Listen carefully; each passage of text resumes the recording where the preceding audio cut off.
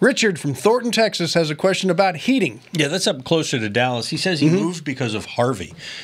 Richard Oh. writes, "We all we have an all-electric heating and AC condenser from 2001 and a blower from 1981."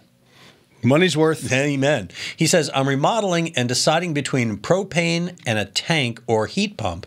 We've had several days of below 32 degree temps, and I'm confused if a heat pump would work. What's your thoughts?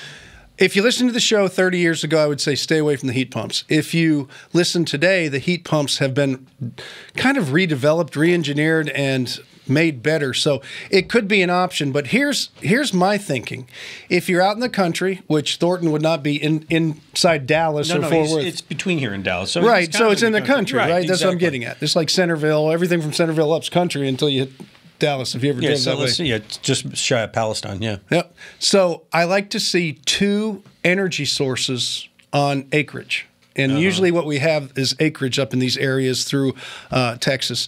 And so the propane can be used for heat. The propane can be used for gas logs in case you lose your electricity. The grid goes down, always goes down on outskirts first. Uh, you can use it for cooking. You can use it for hot water. You could use So it there's to- a lot of advantage You to could having it to propane. power a generator. Good idea, for sure. So I would say because of that, I personally would recommend propane and converting what you can to propane in your house over a period of time. That's my answer. Okay.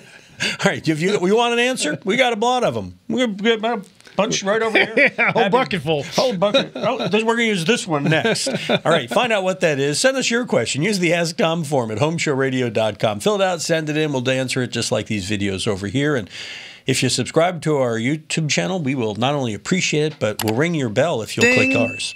Where'd we get this bucket?